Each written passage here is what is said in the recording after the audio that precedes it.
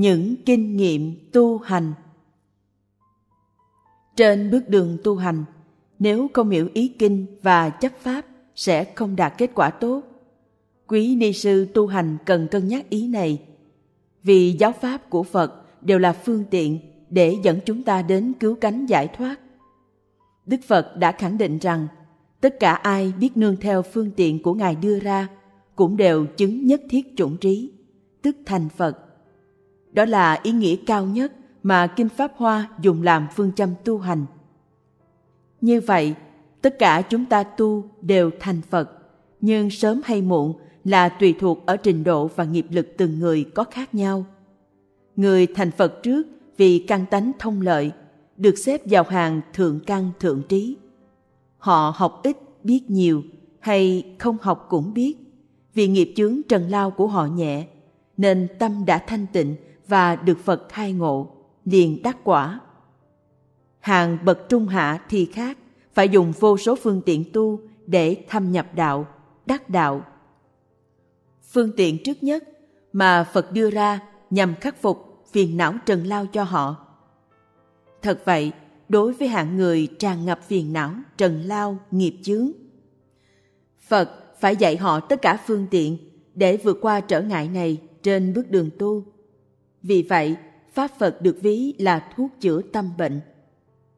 Đối với người bệnh nặng, Kinh Pháp Hoa diễn tả là họ đã mất bản tâm, bị ngũ uẩn ngăn che, không thấy được chân tánh và cảnh giới an lạc để sống. Nói chung, họ có đầy đủ phiền não, thân bệnh hoạn, tâm buồn phiền, thì phải sử dụng thuốc để chữa những bệnh này rồi mới tu. Thật vậy, mới vô chùa, các cô có bệnh về thân thì phải chữa cho khỏe mạnh, để trở lại người bình thường đủ sức khỏe. Vì bệnh thì không thể làm gì được. Ở ngoài đời cũng vậy, người ta không tuyển dụng người bệnh làm việc. Vì vậy, người có bệnh, bước đầu chắc chắn chưa làm được điều gì khác ngoài việc lo chữa bệnh và căn cứ lời phật dạy để biết được nguyên nhân của thân bệnh mà chữa trị. Và kế tiếp nếu còn buồn phiền đau khổ thì phải chữa tâm bệnh này mới vào đạo được. Không hiểu lý này, dù tu suốt đời cũng không đắc quả. Thậm chí phiền não còn phát sanh và trần lao nghiệp chướng nặng thêm, rồi tự than vãn rằng tại sao tôi tu mà lại như vậy? Nhiều người phiền não, nghiệp chướng, trần lao phải dựa vào phương tiện Phật dạy để chữa tâm bệnh. Có thể nói, người căn tánh hạ liệt không có cách nào khác hơn là phải tu tiểu thừa. Ví như bệnh nào thì phải uống thuốc đó. Nghiệp nào ứng với pháp nào mới dứt được tâm bệnh. Người nhiều tham muốn, nhiều bực tức thì nhất định phải tu pháp diệt trừ tham muốn, bực tức là chủ yếu. Đối với người dễ giận, dễ ghét người khác, Phật dạy họ phải tu từ bi quán, nghĩa là phải nhìn người theo cách của Phật hay Bồ Tát. Luyện tập không giận, không buồn, đối với người vô tình hay cố ý gây khó khăn cho chúng ta. Thuở nhỏ, tôi nhiều sân hận, thấy ai cũng muốn đánh, nhưng xuất gia theo Phật, tu từ bi quán, tìm mọi cách diệt trừ lòng sân hận. Dần dần, người có cảm tình tốt và tùy hỷ với tôi trong những Phật sự. Với người nhiều tham dục, chúng ta phải nhận biết Phật dạy tu gì để đối trị ngay nghiệp này của mình. Phật nói rằng, có nhiều thứ tham, nhưng gom lại có năm thứ tham chính yếu là tham tiền tài, danh vọng, địa vị, sắc đẹp và ăn ngủ. Tùy từng thứ ham muốn mà chúng ta chữa trị dứt khoát. Người ham nhiều tiền của, Phật bảo họ xả tục xuất gia, tức dứt khoát bỏ hết, không giữ gì làm của riêng cho mình.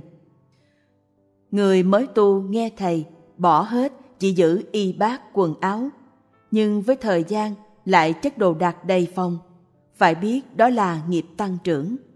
Vì vậy, Phật khuyên người xuất gia chỉ giữ một bát, một y, hay nhiều lắm là ba y để giặt vũ thay đổi.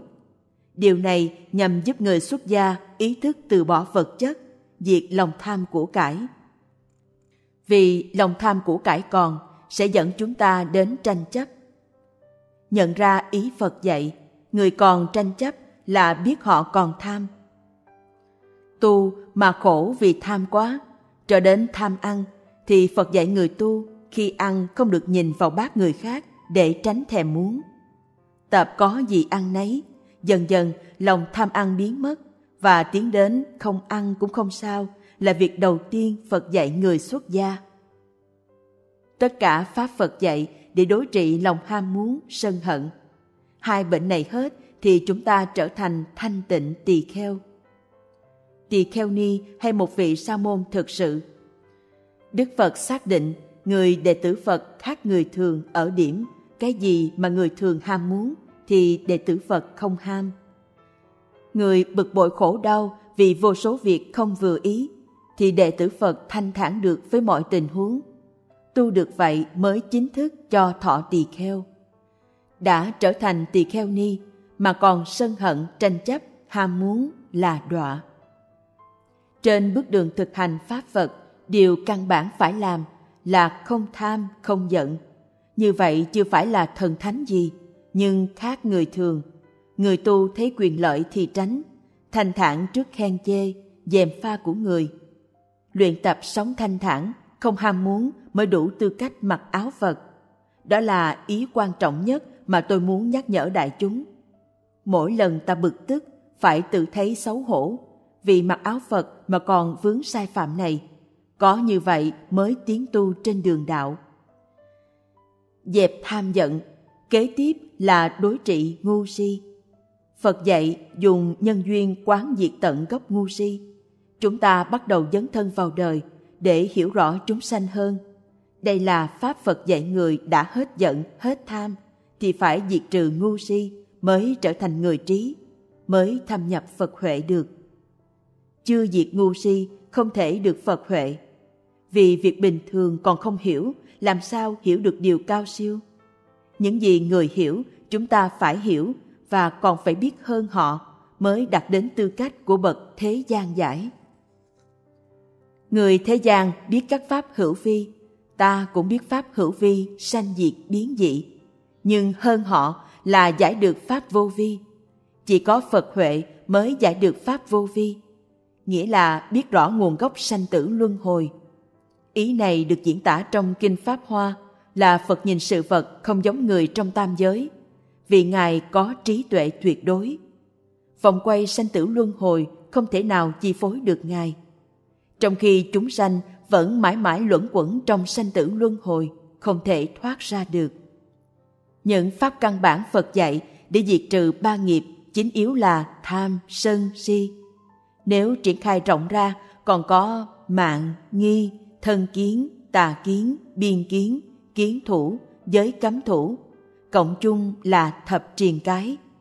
Diệt được bệnh ngu si, ta lại đối mặt với bệnh ngã mạng, tức coi mình hơn người khác. Thí dụ, tôi học giỏi hơn các cô và tự coi giỏi hơn là phạm ngã mạng, xem thường người khác. Giỏi hơn thật mà xem thường người đã là phạm tội ngã mạng, còn bằng người mà thấy hơn người là tăng thượng mạng. Thí dụ, cùng học một lớp, mình hiểu bài mà cô khác không hiểu, nên mình xem thường họ là tăng thượng mạng. Và nếu không bằng ai mà dám xem thường người thì quá xấu ác. Chúng ta tuy hơn người nhưng tập dẹp ngã mạng bằng cách Phật dạy quan sát con người không sanh diệt, nghĩa là quán Phật tánh. Nhìn dưới khía cạnh Phật tánh, Phật thấy Ngài và người không khác. Phật còn coi họ bình đẳng, huống chi ta là gì mà thấy hơn người. Tôi nghĩ như vậy để phá bỏ ngã mạng của mình. Mắc bệnh ngã mạng và tăng thượng mạng, tu suốt đời cũng vào địa ngục. Đó là Pháp Phật dạy rất thực tế người tu phải từ bỏ thực sự tâm ác này trên bước đường theo dấu chân Phật. Nhưng trong sinh hoạt tu hành, chúng ta lại thấy nhiều người tự cho là mình tu đại thừa, xem thường các pháp khác. Sai lầm này không nhỏ. Cần hiểu rằng chữ đại trong đại thừa nghĩa là đại chúng, nên Phật ví nó như xe trâu chở được nhiều người, xe nai, xe dê chỉ chở được một người Đại Bạch Ngưu Sa trong Kinh Pháp Hoa còn chở được nhiều người hơn nữa. Như vậy, có thể thấy cái gì mà nhiều người theo được, hiểu được không phải là cao. Tu đại thừa thấy mình không hơn người khác là tu đúng. Người tu thanh văn, duyên giác là người tu cao vì chuyên tu. Còn tôi tu đại thừa phải dìu dắt chúng sanh, không còn thì giờ nhiều dành cho bản thân nên tu thấp. Nghĩ như vậy thì được. Theo tôi, đại thừa là đại chúng hóa Pháp Như Lai để ai cũng tu được. Thật vậy, trong kinh điển Đại Thừa, Đức Phật khai triển đến cao nhất như Kinh Hoa Nghiêm. Theo đó, thiện tài đồng tử cầu đạo với 53 thiện tri thức. Họ không phải là thánh hiền, nhưng tất cả người này sinh hoạt với đủ thành phần của xã hội và dung nhiếp được, mới tiêu biểu cho ý nghĩa của Đại. Vì đại chúng hóa nên Kinh Đại Thừa không mang tính thuần nhất. Ở giai đoạn trước là tiểu thừa, chỉ có tỳ kheo là hán tu được. Nhưng qua Đại Thừa, trong Kinh Pháp Hoa, Phật nói rằng tỳ kheo, tỳ kheo ni, ưu bà tắc, ưu bà di, thanh văn, duyên giác hay Bồ Tát đều được thọ ký thành Phật. Nghĩa là Phật đưa ra 84.000 pháp môn tu để thích ứng với 84.000 phiền não trần lao của chúng sanh. Như vậy, theo Đại Thừa là không pháp nào không dung nhiếp. Không người nào không được độ mới là hạnh nguyện độ tận chúng sanh của hành giả Đại Thừa. Vì vậy, chúng ta thường hồi hướng bằng lời phát nguyện chúng sanh vô biên thệ nguyện độ phiền não vô tận thệ nguyện đoạn vân vân vì hành bồ tát đạo nên phiền não nhiều còn tu tiểu thừa khất thực xong về hang cốc ở không ai quấy rầy khó có phiền não thực tế chúng ta thấy rõ tu đại thừa lo cánh vác việc của giáo hội cứu độ chúng sanh đó là cơ hội để phiền não chúng sanh trút lên ta. Không phiền não nhiều sao được.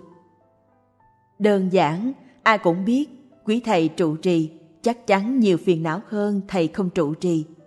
Vì cánh phát tất cả nghiệp chúng sanh. Tức tu đại thừa phải chấp nhận phiền não đổ dồn đến. Nhưng chúng ta phải làm cho tiêu những việc này, không để nó chất chứa lâu dài trong lòng mình. Theo Phật, mọi việc đều hóa giải được với điều kiện là phải thành tựu hai pháp cần thiết để tu đại thừa là tam muội và đà la ni tam muội là định và đà la ni là huệ định để đối trị hoàn cảnh biến động. Nhưng tâm chúng ta không bị dao động theo mới tu đại thừa được. Tâm không động phát sanh trí huệ thấy được nguyên nhân sự việc xảy đến. Và ta theo đó lý giải vấn đề tốt đẹp gọi là huệ giải. Có thể khẳng định rằng định và huệ là hai phương tiện tốt nhất giúp hành giả vượt qua mọi chướng ngại, khó khăn trên bước đường hành Bồ Tát Đạo. Khi Đức Phật đến giáo hóa ở tỉnh xá Kỳ Hoàng thuộc thành xá vệ, đại chúng gặp nhiều việc phức tạp trở ngại cho việc tu hành. Vì có sáu nhóm tỳ kheo chuyên gây rối trong nội bộ. Đó chính là nguyên nhân để Phật nói Kinh Di Đà. Ngài gỡ rối cho đại chúng bằng định huệ hay tam muội và đà la ni. Việc nào Đức Phật cũng giải quyết thỏa đáng.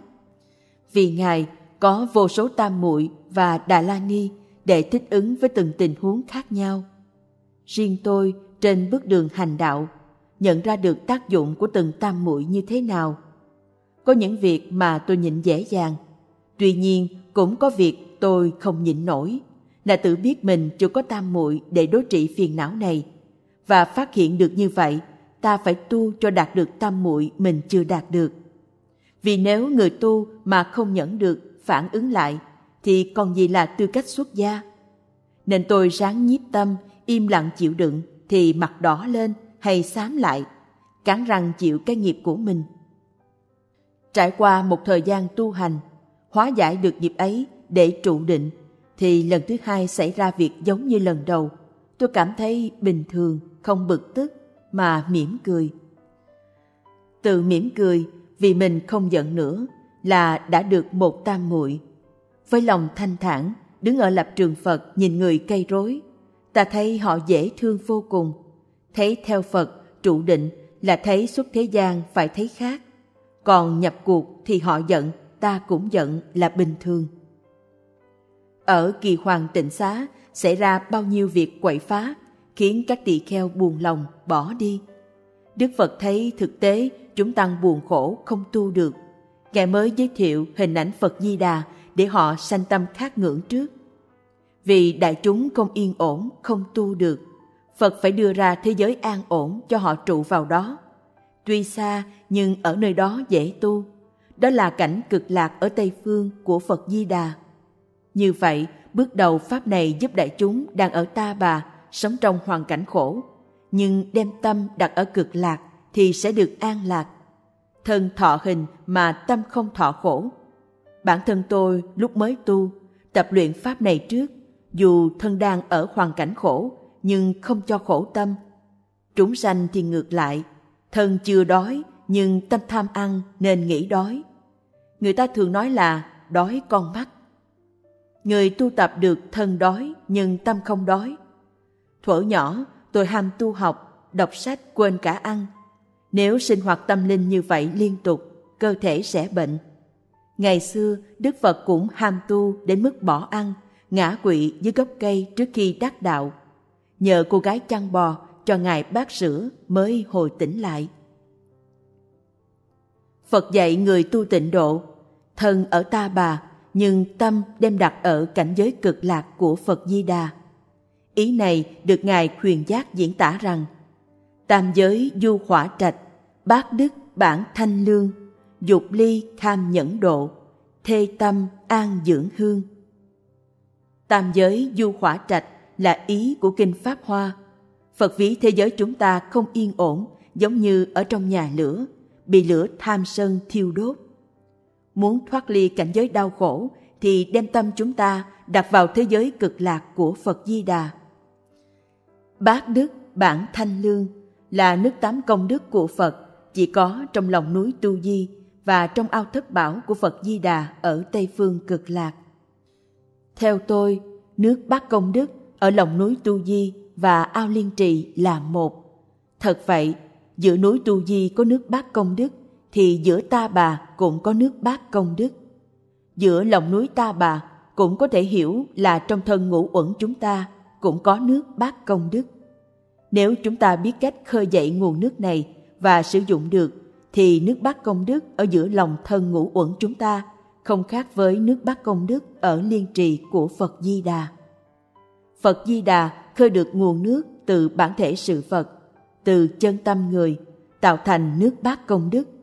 Trên tinh thần này, người tu phát hiện được bản thể sự Phật, chân tâm của chúng ta sẽ cảm thấy mát mẻ gọi là nước bát công đức.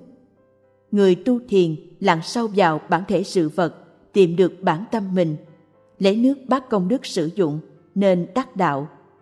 Người tu tịnh độ không tự mình lấy được nước bát công đức, phải nhờ thầy bạn hỗ trợ.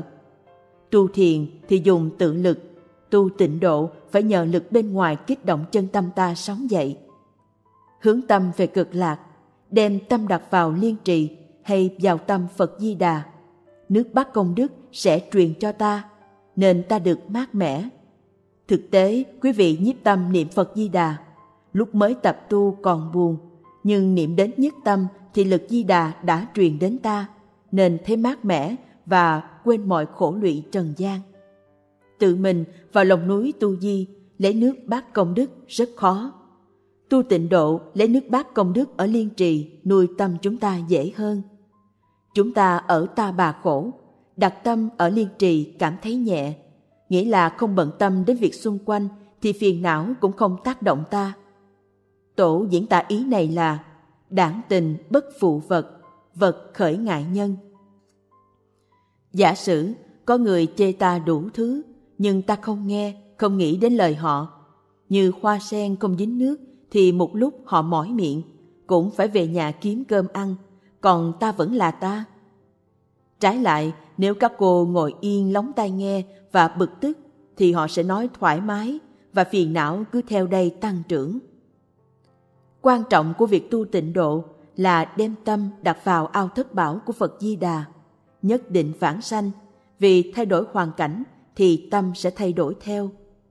Với người tu thiền, Phật dạy tâm bình thế giới bình, tâm tịnh thế giới tịnh. Nhưng sống trong thế giới đầy động loạn này mà đạt được tâm thanh tịnh khó lắm. Vì vậy, Phật giới thiệu pháp tu tịnh độ. Theo đó, thế giới bình, tâm bình, thế giới tịnh, tâm tịnh.